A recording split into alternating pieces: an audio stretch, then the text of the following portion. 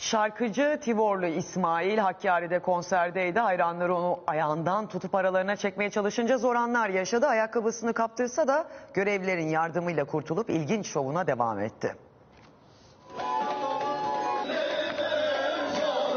Ayaklarından tutan hayranları gaza gelip sahneden indirmeye çalıştı. Tivorlu İsmail zor anlar yaşadı.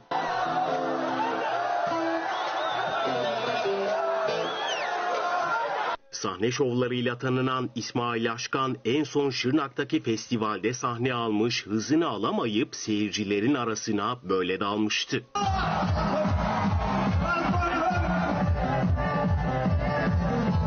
Fenomen şarkıcı dün de Hakkari'de bir okulun düzenlediği konserde sahne aldı. Sevgi selinin ortasında kaldı. Kimi elini öptü, kimi sahneye atladı.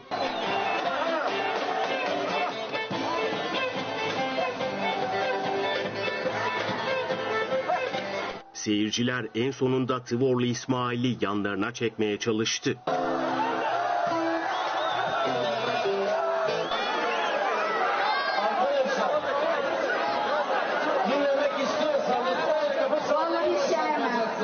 Görevliler tarafından güçlükle kurtarılan fenomen şarkıcı biraz sarsılsa da kısa sürede kendine geldi. Konsere kaldığı yerden devam etti.